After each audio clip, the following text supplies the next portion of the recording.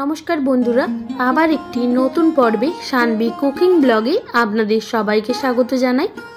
আজ আমি আপনাদের সঙ্গে ঈদ স্পেশাল সিমুয়ের রেসিপি শেয়ার করব। তার জন্য এখানে আমি সমস্ত কিছু নিয়ে নিয়েছি। এবার দেখে নিই সিমুই বানাতে কি কি উপকরণ লাগছে। এখানে আমি তিন চামচ মতো পাউডার মিল্ক নিয়েছি। আর নিয়েছি এইরকম একটা ছোট বাটি, এক বাটি চিনি, প্রায় পঞ্চাশ গ্রাম মতো। নিয়েছি কিছু ড্রাই ফ্রুটস। তার মধ্যে রয়েছে কাজু, আমন্ড, দু রকমের কিশমিশ আর শুকনো খেজুর। সেটা ছোট ছোট করে কাটা রয়েছে। আপনারা আপনাদের পছন্দ মতো ড্রাই ফ্রুটস নিয়ে নেবেন। এখানে আমি একদম সরু যে লাচ্চা সিমুইটা হয়, সেটা নিয়ে নিয়েছি।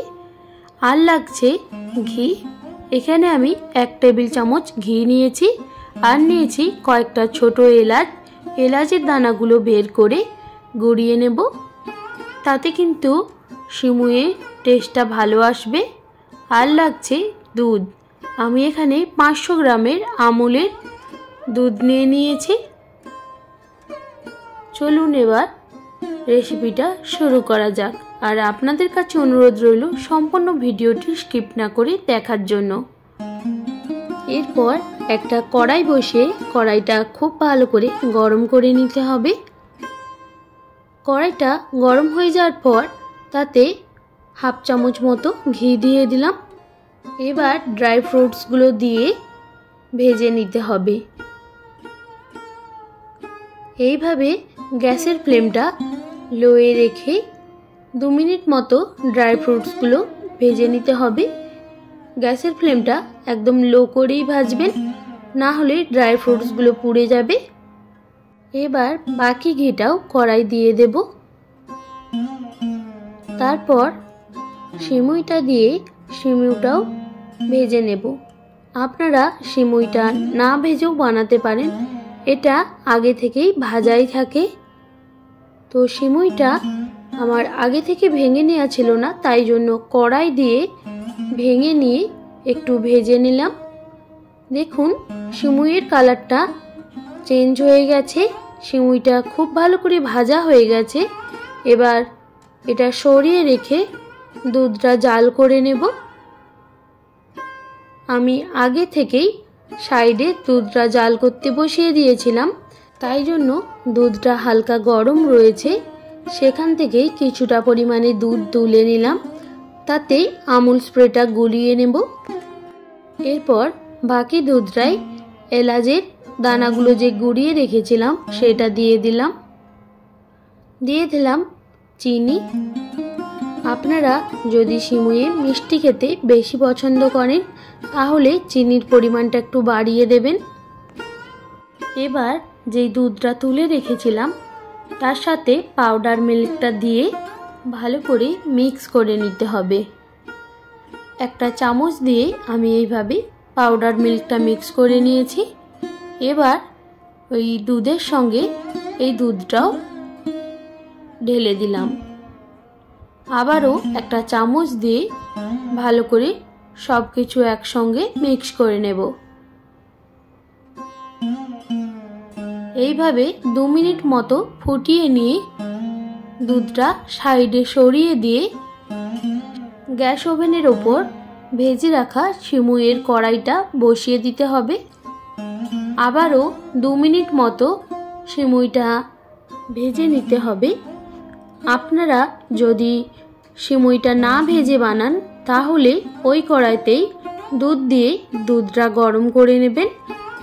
এরপর শেষে সিমুইটা দিয়ে দেবেন। দু মিনিট মতো ভেজে নেয়ার পর দুধটা সিমুইয়ের ওপর দিয়ে দিলাম। এইভাবে এক থেকে দু মিনিট ফুটিয়ে নিলেই রেডি হয়ে যাবে দুধ সিমাই। সিমাই দেওয়ার পর খুব বেশি ফোটাবেন না। এটা ঠান্ডা হয়ে যাওয়ার পর অনেকটাই দুধটা শুকিয়ে যায়। তাই একটু ফুটে যাওয়ার পরই জালটা বন্ধ করে দেবেন।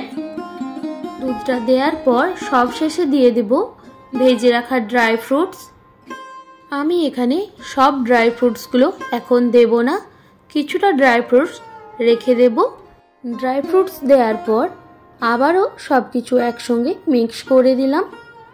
এবার দুধটা ফুটতে শুরু হয়েছে আর সিমুইটা অনেকটাই বেড়ে গিয়েছে। এই সময় গ্যাসের ফ্লেমটা বন্ধ করে দিতে হবে। এর থেকে কিন্তু ঘন করবেন না। না হলে ঠান্ডা হয়ে যাওয়ার পর সিমুইটা একদম বসে যাবে। এবার একটা প্লেটে সার্ভ করে নিলেই রেডি হয়ে যাবে দুধ সিমাই। সম্পূর্ণভাবে রেডি হয়ে গেছে সিমাই। আমি প্লেটে সার্ভ করে নিয়েছি। আর ওপর থেকে কিছুটা ড্রাই ফ্রুটস রেখে দিয়েছিলাম, সেটা ছড়িয়ে দিয়েছি। দেখুন কতটা লোভনীয় হয়েছে? আপনারাও এইভাবে অবশ্যই বাড়িতে ট্রাই করবেন আর জানাবেন কেমন হয়েছে। আর আমার রেসিপিটি যদি আপনাদের ভালো লেগে থাকে, অবশ্যই একটা লাইক কমেন্ট শেয়ার অ্যান্ড আমার চ্যানেলটি সাবস্ক্রাইব করে আমার পাশে থাকবেন। আর বেল আইকনটাও অবশ্যই প্রেস করে দেবেন, যাতে নিত্য নতুন রান্নার ভিডিওগুলি আপনাদের কাছে সবার প্রথমে পৌঁছে যায়। আপনারা সবাই ভীষণ ভালো থাকবেন। সুস্থ থাকবেন। আপনাদের মহামূল্যবান সময় এতক্ষণ আমার সঙ্গে থাকার জন্য সবাইকে অনেক ধন্যবাদ। ফিরে আসছি আবার নতুন কোনো রেসিপি নিয়ে। আর আমার মুসলিম বন্ধুদের সবাইকে ঈদের অনেক শুভেচ্ছা রইল। আপনারা সবাই আনন্দ করে ঈদ কাটান।